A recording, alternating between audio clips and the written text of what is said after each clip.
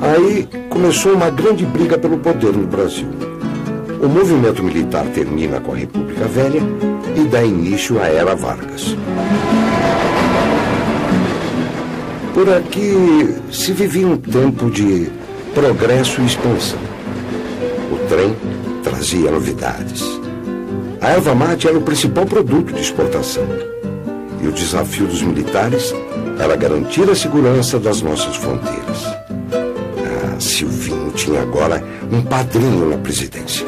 Ele era amigo do Getúlio Vargas, ele foi um dos homens que ajudou o Getúlio Vargas a tomar o, o, o poder lá, o palácio da, na Laranjeira, no Rio de Janeiro. Em 32 estoura a revolta constitucionalista em São Paulo.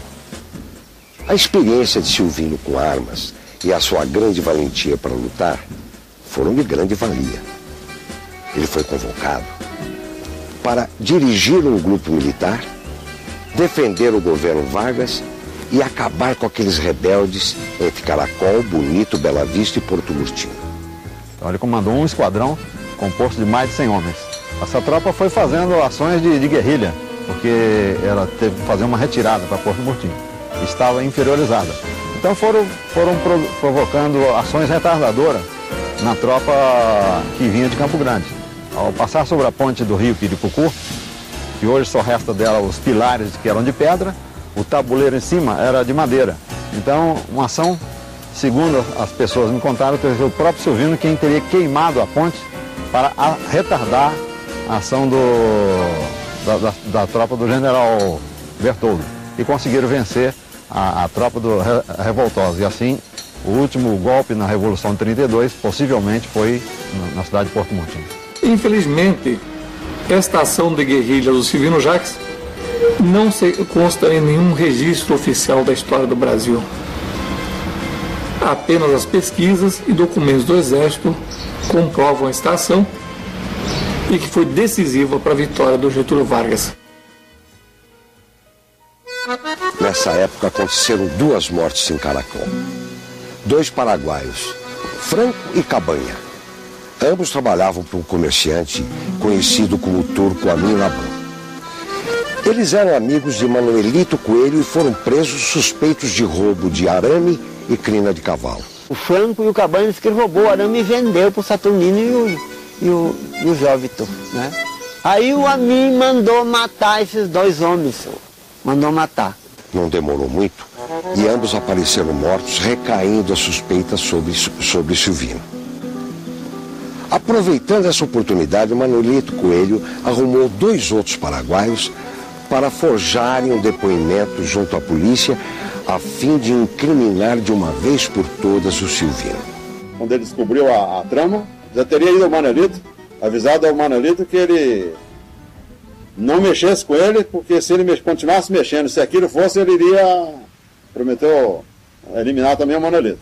Manolito também não era homem de guardar desaforo e começou a pensar num jeito de se livrar definitivamente de Silvino o Manolito contratou uma, uma, uma tocaia para fazer para ele lá.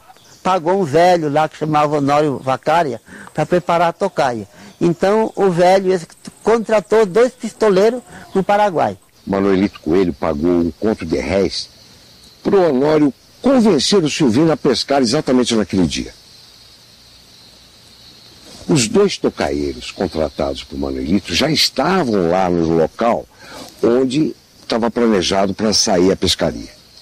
Acontece que nem tudo deu como planejado. Porque o Silvino, ele estava com dois primos. O Áureo, irmão de Adão Jacques, e Pedro Cruz. E uma coisa chamou a atenção do Silvino. Honório não apareceu para pescar. E no meio do caminho, um detalhe salvou a pele do Silvino. Chegando perto do rio, o Silvino viu voar um pato. Aí ele falou para o Auro e o, Pedro, e o Pedro Cruz, vocês vão indo, que eu vou voltar lá pegar a minha arma de caça, lá no, no, no barraco. Quando ele chegou no barraco, que ele pegou a arma, ele escutou dois tiros de, de fuzil lá no, no rio. Né? Aí ele já veio, já ficou desconfiado. Aí ele veio beirando o rio, aí ele olhou do outro lado do tal pesqueiro que ia pescar, ele viu os dois primos dele mortos. Um estava morto dentro d'água, outro na areia. Isso. Receoso de, de, de, que quem atirou estivesse ainda de tocaia, ele voltou à casa do, do, do Vacari, lá prendeu todo mundo, e aí a seguir ele apertou o, o Vacari. O Honório Vacari viu ele, ele já trocou de cor e, e, tremeu o bigode. É. Aí o velho contou, falou, não, é uma tocaia que o seu Manuelito mandou fazer aqui para o senhor. Me pagou um conto de réis para mim armar essa tocaia. E aí o Servino falou para ele, então, de hoje em diante, você não tocaia mais, não mata mais, não faz tocaia Paraguai. É? Aí matou ele ali e o filho dele estava lá dentro do buraco da serraria, matou lá, lá dentro também. Né? Aí no, no vim saindo da, da chácara, que saiu numa, numa cerca, tinha um paraguaizinho, chamava Nicásio, estava passando a cerca, aí ele já estava com raiva de Paraguai, ele foi e deu um tiro nele e matou também. A principal prova do envolvimento de Manuelito com a tocaia foi uma carta que Silvino encontrou com Honório. Nela, Manuelito acertava os detalhes da tocaia. Está aqui a carta dando nosso amigo Manolito. O que ele fez com nós. Aí o Adão pegou a cabeça e falou, então mata ele agora. Adão atrás do Manolito. Silvino arquitetou todo o plano e ia ficar esperando lá no boliche do Turcoanim até ouvir os tiros.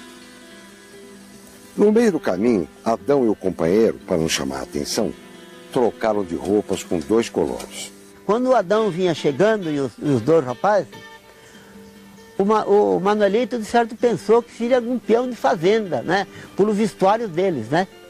Quando eles chegaram pertinho, assim, o Manuelito, o Manuelito conhecia muito o Adão, aí ele conheceu o Adão, né? Aí ele pegou a guriazinha no, nos braços, né?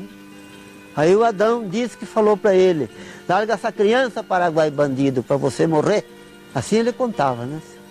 Aí ele não soltou a menina. Aí o Adão atirou nele, mas atirou nele para não pegar na menina. Senhor. Aí ele jogou a menina e correu. É. Correu e eles saíram correndo atrás dele. Manuelito se escondeu no mandiocal e viu quando os dois entraram atrás dele. Esperou um pouco e saiu correndo tentando chegar em sua casa. Quando ele entrou dentro da casa, a esposa dele, a dona Dalmíria, abraçou o marido dela, né? Aí que o Silvino chegou. Chegou e deu um tiro na cara. Ele caiu na porta da casa dele, nos braços da mulher. A morte de Manuelito funcionou como uma declaração de guerra.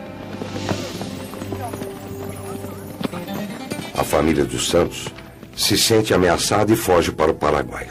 Esta imigração que hicieron los dos santos a raíz de uma persecução ou de uma luta frontal que tuvieron com, con esa familia. Ellos tuvieron que abandonar el Brasil, tenían un establecimiento ganadero, abandonaron todo y vinieron al Paraguay. Se ubicaron acá durante todo el tiempo em que Silvino vivia. Quem apoiava o do santo, ele matava.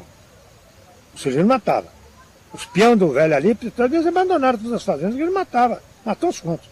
E depois os do santo também já matava quem apoiava eles também, sabe?